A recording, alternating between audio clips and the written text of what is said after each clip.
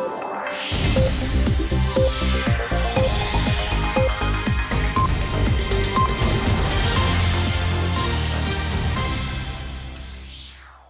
Ողջույն Factor TV-ի հյուրը ազգային ժողովի քաղաքացիական պայմանագիր խմբակցության падգամավոր կուսակցության վարչության անդամ Վաղարշակ Հակոբյանն է վարձես։ Պարոն Հակոբյան ապրիլի 5-ին ընթառաջ է վարչապետը պետք է հանդիպի Բլինքենի Ուրսուլա ֆոն դեր Լայնի հետ Բրյուսելում Ադրբեջանի ՊՆ-ն հայտարարություն էր տարածել, թե ադրբեջանական պայմանական սահման տարբերություններում նկատվում են կենթանի ուժի զրահատեխնիկայի կենտրոնացում, ինտենսիվ տեղաշարժ Հայաստան պաշտպանության նախարարությունը հերքեց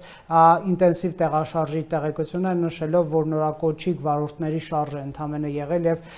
դա են ընդամենը արձանագրել եւ սահմաններն ուղղված զորաշարժ չկա, այ շատերն է հետաքրքրում հավանական է Ադրբեջան նման ասենք կեղծ հիմքեր ստեղծել ռազմական հարձակումներ, թե դուք նման հավանականություն չեք տեսնում։ Շնորհակալ եմ հարցի համար։ Դե Ադրբեջանի քարոշչության մեքենայի գործելավոճը մենք տասնյակ տարիներով տեսնում ենք, որ փոփոխության չի ենթարկվում եւ նրանք փորձում են անդադ սադրանքի ենթարկել մեզ։ Տեսեք օրինակ այս հայտարարությունը ինքը ուղված է ապրիլ 5-յան շատ կարևոր հայտարարությունից առաջ եւ միգուցե ինչ որ տարեր ունի իր մեջ, որը կարող է նաև անհանգստացնող լինել, բայց ուզում եմ ասել, որ իրականությանը նախ չի համապատասխանում, այդպիսի բան չկա եւ երկրորդը մենք իրավունք չունենք սադրանքների տրվելու եւ որոշակի նաեւ մեր հայտարարություններում անզգույշ լինելու մենք շատ կարևոր գործընթացի մեջ ենք գտնվում եւ այդ կարևոր գործընթացը շատ հանգիստ եւ կառուցողական միջավայրում կարելի արձանագրել, որ անցնում է եւ ապրիլի ապրիլ 5-յան հանդիպումը հենց այս գործընթացի նաեւ կարևորագույն մասերից մեկն է եւ մենք պետք է տեսնենք թե ինչպես են դասավորվում իրադարձությունները։ Շատ լավ, մենք անպայման ապրիլի 5-ից կխոսենք զուտ այս ռազմական տրամաբանության մեջ վարչապետը բականը այդ հանդիպմանը արտաշատում ասում էր Ադրբեջան փորձում է գտնել պատրվակները ռեգիոնում նոր լայնամասշտաբ պատերազմ մեկնարկելու համար, բայց նաև նշում էր մեր քաղաքական դիրքորոշումը այն է, որ Հայաստանը իր միջազգային ճանաչված ինքնիշխան տարածքից դուրս որևէ հավակնություն չունի ներառյալ նաև այդ 4 գյուղերը նկատի ուներ, բայց ամեն դեպքում նման հայտարարությունը կկանխի Ադրբեջանի ռազմական հարձակումը, եթե նույնիսկ հայկական կողմը փորձում է նրան զրկել, այսպես ասենք, ֆորմալ հիմքերից հարձակման։ Գիտեք, ես իհարկե երբ մենք մեկնաբանում ենք իրավիճակը մենք պետք է փաստարկված մեկնաբանենք եւ դուք վստահաբար նաև տեղյակ եք, որ նախորդ հարց ու պատասխանի ժամանակ այս այս հարցերը մեր ընդդիմադիր բազմաթիվ գործընկերներ փորձում էին խեղաթյուրել այսինքն նշում էին անուններ որ այս է քանզնում այն է քանզնում լրիվ ստահոտ տեղեկություններ այդպիսի բան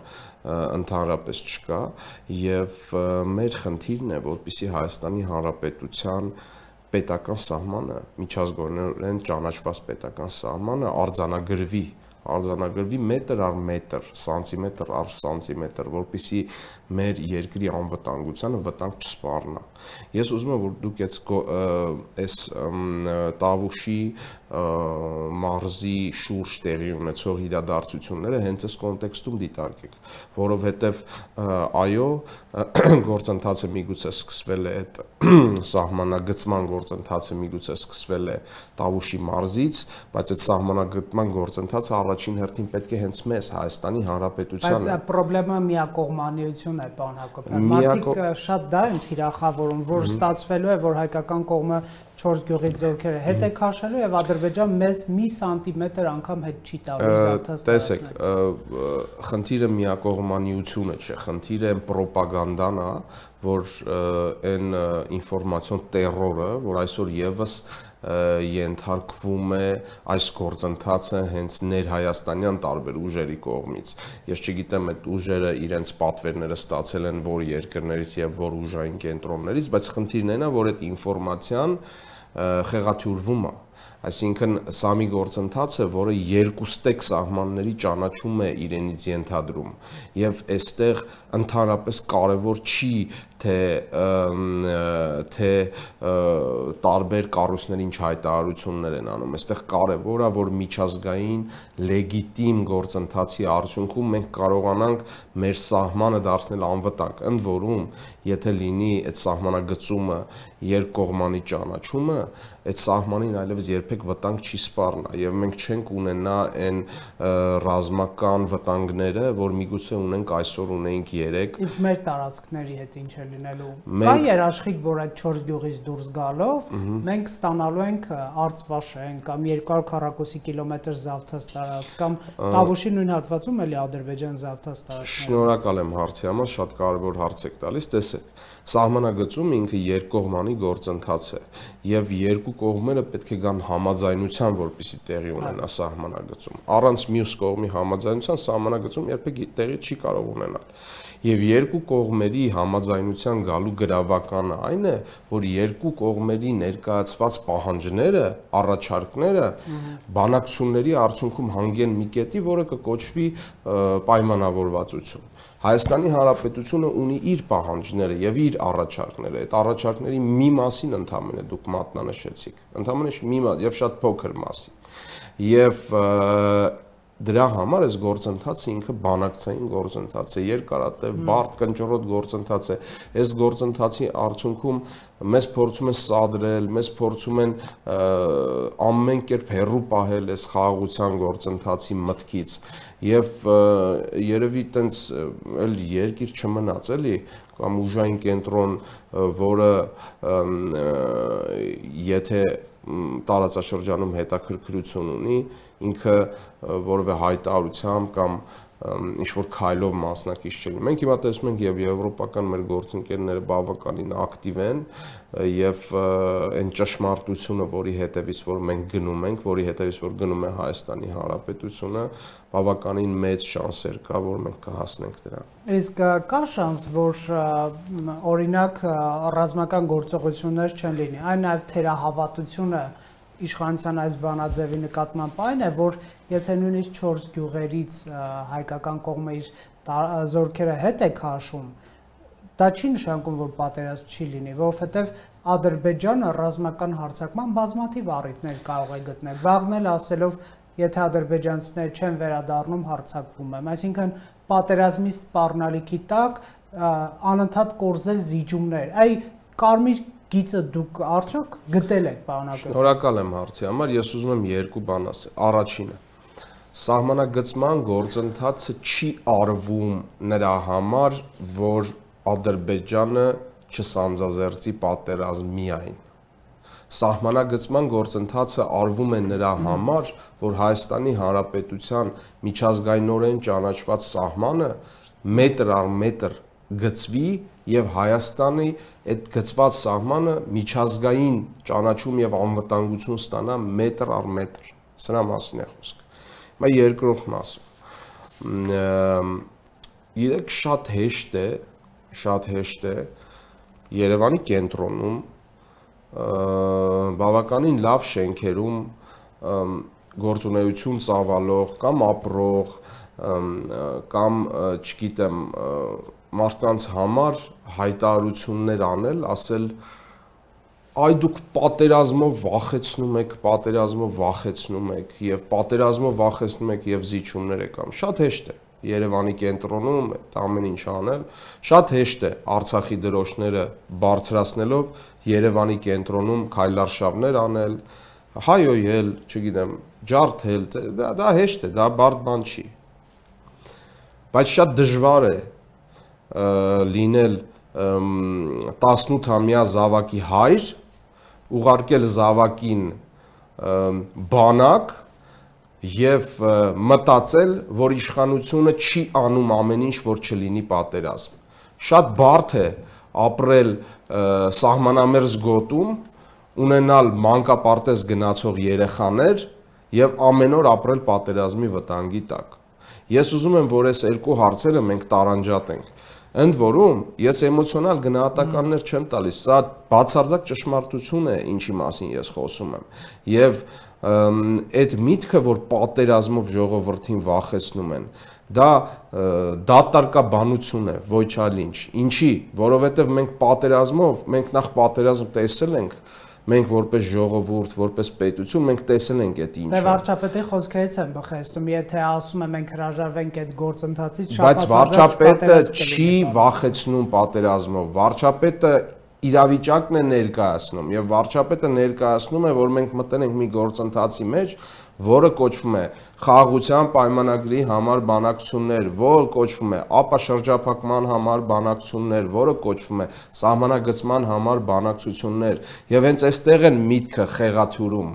մեր միտքը վարչապետի միտքը խեղաթյուրում մենք ոչինչ չենք այսինքն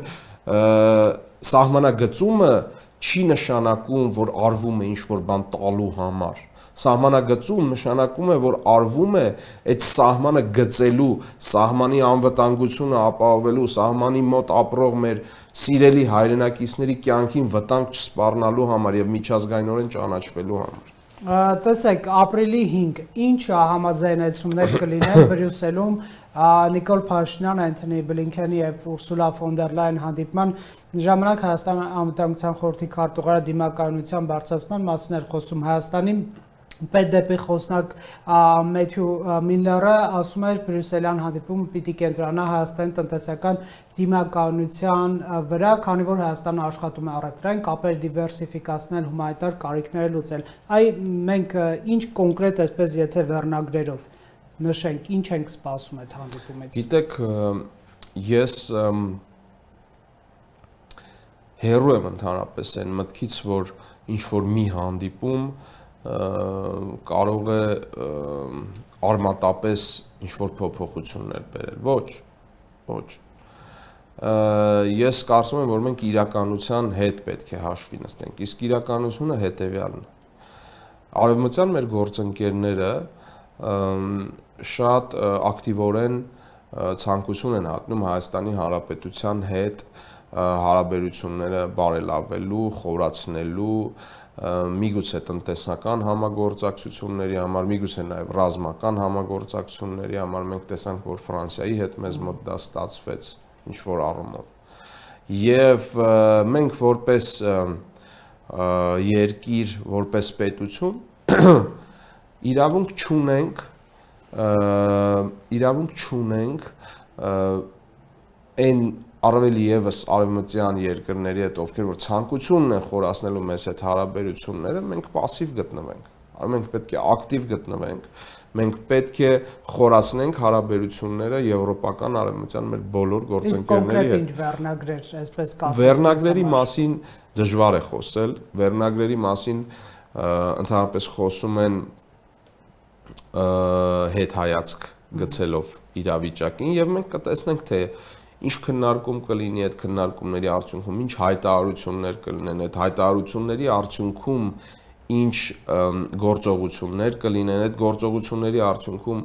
գործողությունների արդյունքը ինչ կլինի մեզ համար եւ նոր մենք կկարողանանք վերնագրել Շատ լավ, կարելի է պնդել, որ այս հանդիպումը ինչ որ իմաստով նպատակ ունի նաև նախապատրաստել Հայաստանի տնտեսությանը Եվրամիության անդամակցության տեխնացության հայտ ներկայացնելու process-ը։ Գիտեք,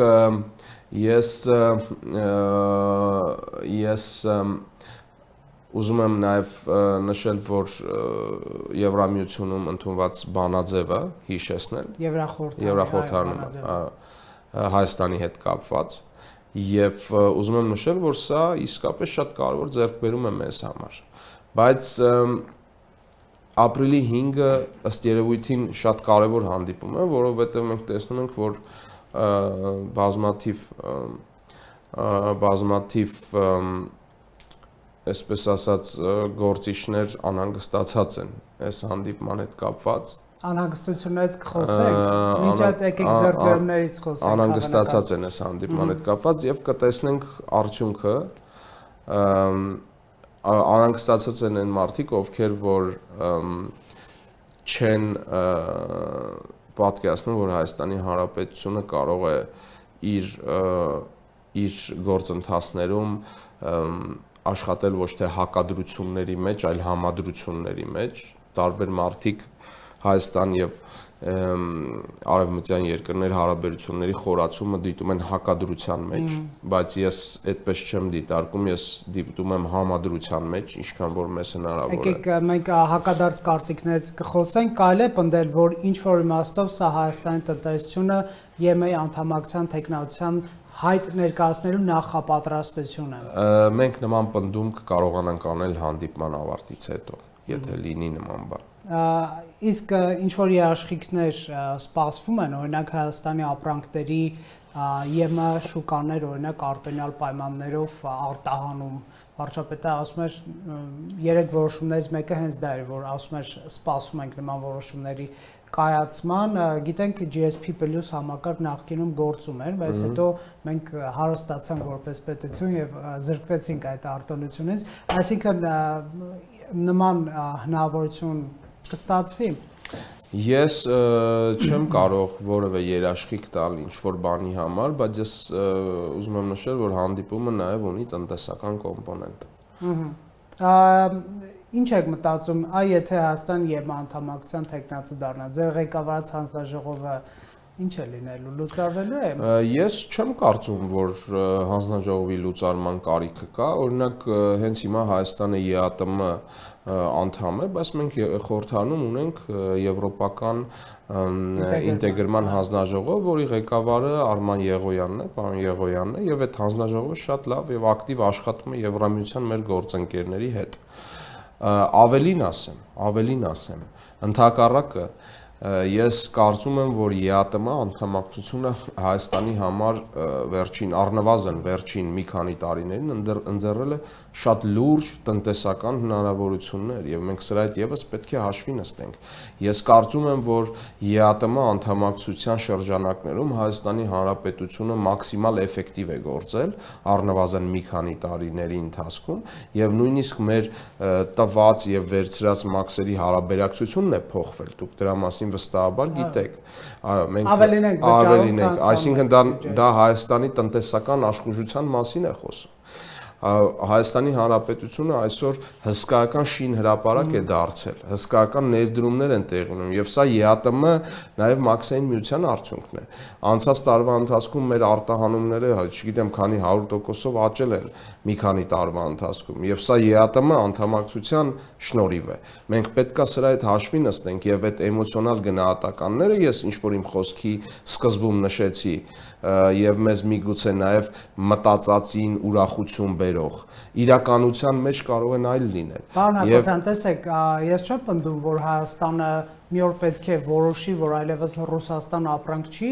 արտահանում։ Խնդիրը այն է, որ կարող են նրանք պայմանական ասած լարսը փակել եւ մի օր ողջվի, որ Հայաստանում արտադրված բոլոր ապրանքներն են խոտանված եւ ռուսական շուկայում ոչ համարժեք։ Հարցս դրա մասին էր, որ այ մենք ինչքանով ենք հաշվարկել որպես պետություն նման սցենարը եւ կա կառավարելի այսպես միջոցառումների ծրագիր ինչ է լինելու նման։ Ես ես գիտեք շատ ավելի լավատես եմ եւ չեմ կարծում, որ այդպիսի բան տեղի ունենա մի քանի պատճառով։ Առաջի պատճառը մենք համարվում ենք միևնույն մաքսային միության անդամ եւ մաքսային միությունը ունի կանոններ եւ այդ մաքսային միության անդամներ են նաեւ այլ երկրներ, ովքեր եւս նույն կանոններով են գործում։ Թե թե ով ինչ քաղաքական նպատակահարմարության նպատակահարմարությունից ելնելով հայտարարություն է անում այդ պահին, սա մաքսային միության աշխատանքի հետ։ Կնեք, կնեք, բայց եթե Հայաստանը ԵՄ անդամակցության տեխնացուի հայտ է ներկայացնում, մենք պետք է ԵՏՄ-ից դուրս գանք, չէ՞։ Այսինքն չենք կարող եւ ԵՄ անդամ լինել եւ շարունակել մնալ ԵՏՄ-ում։ Այդ պահի դրությամբ կարող է փակվել։ Ես ես ասեմ ձեզ, Հայաստանի Հանրապետությունը Եվրոպական միության հետ ուներ ասոցիացման համաձայնագիր եւ ԵԱՏՄ անդամ էր։ Չէ, ասոցիացման չէր, մի քիչ ավելի Հա, այլ ձևակերպում ուներ, բայց այդպիսի համաձայնագիր ուներ մի երկիր, որը ԵԱՏՄ անդամ էր եւ ես չեմ կարծում որ մենք պետք է հակադրություն նախ այդ որ եթե դառնանք տեխնացու պետք է ԵԱՏՄ-ից դուրս գանք ես չունեմ նման ինֆորմացիա անկեղծորեն ձեզ ասեմ եւ տեխնացու դառնալու ինֆորմացիա չէ դուրս այսինքն այդպիսի բան ընդհանրապես մեր օրակարգում չկա ընդհակառակը ընդհակառակը մենք խորացնում ենք մեր հարաբերությունները ԵԱՏՄ անդամ երկրների, այդ թվում Ռուսաստանի Դաշնության հետ եւ համարում ենք Ռուսաստանի Դաշնությանը գործընկեր երկիր, միևնույն մաքսային միության մեջ, ում հետ աշխատանքից եւ ապրանքաշրջանառությունից Հայաստանի Հանրապետությունը որպես պետություն գոհ է։ ԵՄ անդամակցության նպատակ ունի իշխանությունը։ Իշխանությունը դուք հիշում եք, որ արտգործնախարարի շուրթերով, պարոն Միրզյանի շուրթերով արել է հայտարարություն եւ այդ հայտարարությունը շատ կարեւոր հայտարարություն է, բայց այդ հայտարարությունը եւ իշխանության մեր մյուս գործընկերների արտաքին բլոկի ներկայացուցիչների հայտարարությունները ես չեմ ուզում որ մենք դիտարկենք հակադրությունների մեջ։ Իսկապես անկեղծորեն եմ ասում, ես ուզում եմ, որ մենք դիտարկենք համադրությունների մեջ։ Ձեր կոմպլեմենտարիզմը գնահատել է, պարոն Հակոբյան, բայց չկա մի պետություն, որը եւ եւ անդամ լինի եւ ԵՏՄ անդամ եւ չէ արդեն կա մի պետություն որը եւ հապկի անդամ է եւ ՆԱՏՕ-ի երկրներից է զենք վերցում դա էլի մենք ենք դա հասկացանք բայց ոնց որ հասկանում եք ԵՄ եւ ԵՏՄ-ն չեն կարող համատեղվել ասածս դա է գիտեք մենք կտեսնենք թե ինչպես են դասավորվում իրադարձությունները բայց ընդ որում պետք չի նման գնահատական տեն շատ կոնկրետ տալ էլի մենք ԵԱՏՄ անդամ ենք այսօր եւ ԵԱՏՄ անդամակցությունը եւ ԵԱՏՄ մաքսային միության ներքո Հայաստանի Հանրապետության տնտեսական ակտիվությունը խոսում է նրա մասին, որ մենք բավականին էֆեկտիվ ցուցանիշներ ունենք ավելին ասեմ, մոտ 2 տարի առաջ մենք գրանցեցինք 12.4% մաքուր տնտեսական աճ, եթե չեմ սխալվում, եւ սա աշխարհում առաջատար ցուցանիշներից մեկն էր, եւ սա նաեւ ԵԱՏՄ անդամակցության պատուրներն է, որ դե սա է իրականությունը։ Լավ, լավ։ Չգիտենք, ԵՄ անդամ լինենք, քանի տոկոս աճ կունենանք, բան Հակոբյան, այնպես չի որ տեսեք, ամեն դեպքում Ռուսաստանի արտգործնախարար մեղադրեց Նիկոլ Փաշինյանի կառավարությանը Ռուսաստանի հետ հարաբերությունները միտումնավոր քանդելու մեջ, որ միտումնավոր խեղաթյուրում եք վերջին 3-3.5 տարվա պատմությունը, այսինքն հապկին զրպարտելով ռուս խաղապարներին, Լեռնային Ղարաբաղում ռուս սահմանապահներին, ըստ այդմ նրանք կատարել են իրենց պարտավորությունները, այդ Հայաստանն է զրպարտում իրավիճակը ուղղորդում է Հայաստանի կառավարություն Ռուսաստանի հետ հարաբերությունների փլուզմանը այ ընդունում եք այս քննադատությունը գիտեք ինչպես նշեցիք վերջին 3-3.5 տարվա ընթացքում Հայաստանի Հանրապետության շուրջ տեղի են ունեցել իրադարձություններ եւ այդ իրադարձությունները նաեւ շատ ցավալի են եղել մեզ համար Օրինակ ես ուզում եմ հիշեցնել ջերմուկի դեպքերը։ Երբ ակնհայտ ռազմական ոտնձգություն, ռազմական ագրեսիա կատարվեց Հայաստանի Հանրապետության սուվերեն տարածքի նկատմամբ։ Սուվերեն տարածք, որի որի ինքնիշխանությունը եւ սուվերենությունը անվիճարկելի էր։ Այսինքն որևէ մեկը չէր կարող ասել, որ ջերմուկի այդ հատվածը Հայաստանի Հանրապետության տարածք չի։ Այդպիսի բան չկա եւ հապկի հետ մեր հարաբերությունները, մեր պայմանավորվածությունները եւ մեր ստորագրած փաստաթղթերը ենթադրում էին, որ հապկը պետք է գործողություն տեղի ունենա հապկի կողմից։ Դա անգլիք ես ես ես ես տեսեք, հապկի կողմից պետք է գործողություններ տեղի ունենա։ Մենք չտեսանք ոչ մի գործողություն։ Ավելին ասեմ, սկզբնական փուլում չտեսանք նաև ոչ մի հայտարարություն։ Ավելին ասեմ, Նաև ազդակներ ստացանք, որ միգուցե միգուցե այդքան էլ այդքան էլ հստակ չի այդ բանը սահմանների կառուցվածքը այնտեղ։ Եվ դրանից հետո մենք բազմաթիվ անգամ խոսել ենք սրա մասին բարձրաձայնել ենք այս թեման ընդ որում թե աշխատանքային միջավայրում թե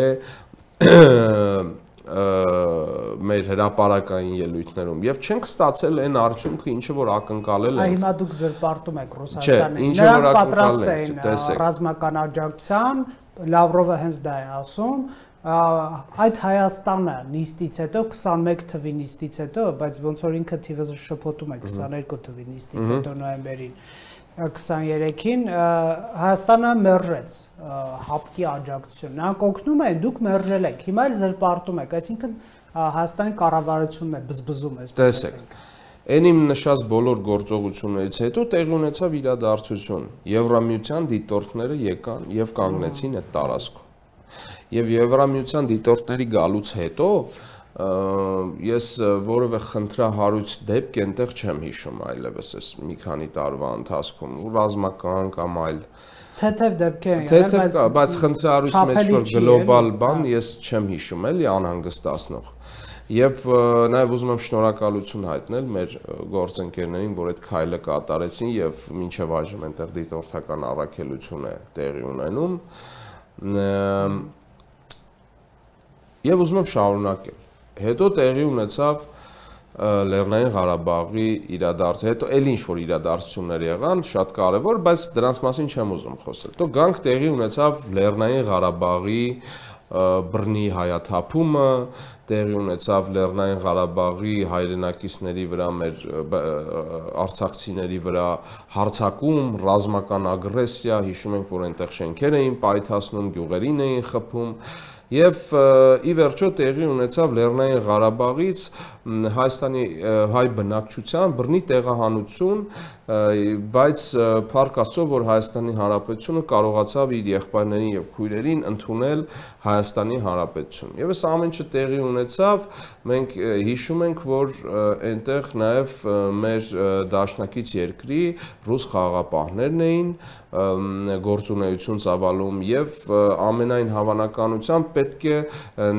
ես կարծում եմ, որ նաեւ թե նոյեմբերի 9-ի փաստաթղթով, թե հաշվի առնելով խաղապահների տրամաբանության ներքո, ներկայության տրամաբանության ներքո այդպիսի բան տեղի չունենար։ Հիմա փաստ, եթե մենք ասում ենք, որ Լեռնային Ղարաբաղը Լեռնային Ղարաբաղից հայ ժողովուրդը բռնի տեղահանվել է, արդյոք մենք զրպարտում ենք։ Եկեք միասին գնանք տեսնենք, այնտեղ հայ բնակչություն կա թե չէ։ Հիմա սա զրպարտություն է թե չէ։ Չկա չէ այնտեղ հայ բնակչություն։ Իմ ունեցած ինֆորմացիայով շուրջ 1 տասնյակ մարդ է մնացել 100.000-ից ավել մեր հայությունից այնտեղ։ Հիմա մենք զրպարտում ենք թե չէ։ Բայց Սա չի նշանակում, որ մենք մեր գնահատականներում պետք է լինենք ագրեսիվ, պետք է լինենք չտրամաբանված, պետք է լինենք առանց իրականության հետ հաշվի նստելու միգուցե կան գործիչներ, ովքեր որ ովքեր որ աչքի են ընկնում ակնհայտ ճշմարտությունը, ակնհայտ սուտը ճշմարտության տեղ ներկայացնելուց, բայց մեր քաղաքականությունը հիմնովին տարբերվում է դրանից։ Կա փաստ, կա փաստ եւ արձանագրում։ Այժմ մենք ունենք իրավիճակ, երբ դեռևս կարծեմ ռուս խաղաղապահները մեր դաշնակից երկրի երկրի խաղաղապահները այնտեղ են, բայց այնտեղ հայություն չկա, ում որ պետք է պաշտպանեին խաղաղապահները, ցավոք սրտի։ Տեսեք, մյուսը Արցախ միության նախագահ Արտակ Բեգլարյանը անընդունելի էր համարում վարչապետ Փաշինյանի հայտարարությունը, թե Արցախի վտանգի կառավարություն վտանգ է ներկայացնում Հայաստանի անվտանգությանը Սամվել Շարամանյանի հայտնի հարցազրույցին ի պատասխաներ Նիկոլ Փաշինյանը ասել, այ ծայրահեղ չէ իշխանության գնահատականը։ Ինչ վտանգ։ Պարոն Բեգլարյանը ինչ պաշտոն էր զբաղեցնում։ Պետնախարար է եղել նախ։ Չէ, չէ, հիմա Արցախ միության նախագահ եւ հասարակական կազմակերպություն։ Դե հա, հասարակական կազմակերպություն կարող է գրանցվել Հայաստանում օրենքներին համապատասխան եւ Ես հակեի մասին չեմ հարցում։ Այլ այդ քննադատությունները, որ իշխանությանը ուղղվում է, որ դուք այսպես ասենք ապազգային ձևով քննադատում եք։ Ես ես մի հատ բան ասեմ, էլ ձեզ բան հարցնեմ։ Դուք լսել եք երբևիցե Արևմտյան Հայաստանի կառավարություն անուն անուն այդպեսի, այդպեսի բան կա, դուք տեղեկ եք։ Այո, այո այնտեղ նախարարներ կան, ասենք Արևմտյան Հայաստանի տարածքային կառավարման նախարար, Արևմտյան Հայաստանի գյուղատնտեսության նախարար, Արևմտյան Հայաստանի չգիտեմ, ընդերքի եւ տեսչության կոմիտեի ղեկավար։ Այնտեղ էսպիսի բաներ կա, այդ կառավարություն կա այնտեղ, էլի։ Հիմա ես ընդ որում առանց սարկազմի եմ ասում։ Չէ, գիտե, բայց Արցախի կառավարությունը ո՞նց է վտանգում Հայաստանը։ Արցախը, Արցախի կառավարություն ես չգիտեմ այդպիսի ընդ որում Արցախը չի կարող չունենալ տարածք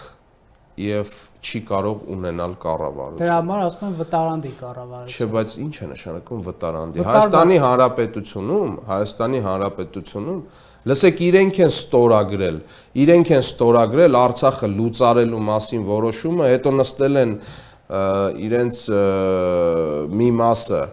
մեքենաները եկել են Հայաստան։ Հա։ Իրենք ստորագրել են, ինչա նշանակում վտարանդի կառավարություն վարչապետին երկրորդում եմ, վարչապետը շատ ճիշտ է նշել, Հայաստանի Հանրապետությունում կա մեկ կառավարություն եւ այդ մեկ կառավարությունը Հայաստանի Հանրապետության քաղաքացիների կողմից ընտրված կառավարությունն է, որը նստում է կառավարության շենքում մնացած բոլոր Այդ ջնջում եք Արցախից մնացած վերջին, այսպես ասենք Հիշում եք մեզ պատերազմ, այն որ հարցակվել էին Ադրբեջանը ռազմական ագրեսիա էր անում Արցախի հանդեպ, տարբեր կողմերից մեզ ասում են ինչի չեք մտնում պատերազմի մեջ ոնց մտեք պատերազմի մեջ ինչի չեք մտնում պատ հիմա նմանատիպ բանը նմանատիպ բան եմ ես այս հայտարարության մեջ տեսնում ինչա նշանակում վտարանդի կառավարություն Եթե իրենք ստորագրել են, իրենց ձեռքով լուծարել են Արցախի հանրապետությունը, հետո եկել են ստեղ, ուրեմն ես մի բան գիտեմ, որ որ Արցախի մեր գործընկերները, որ ժամանել են Հայաստանի Հանրապետություն, նրանք ունեն կարգավիճակ եւ այդ կարգավիճակը չի տարբերվում մնացած մեր արցախցիների կարգավիճակից։ Իսկ ինչ գործողությունների մասն էր խոսում Նիկոլ Փաշինյանը իրավապանեն ուղված հա հույս ունեմ խնդրի գոյությունը չի նշանակի որ մեր մարմինները իրենց աշխատանքներում թերացել են պետք է քայլեր լինեն այդ վտանգը կանխելու։ Նախ վտանգը ես այդպես էլ չհասկացա անկեղծ ասած։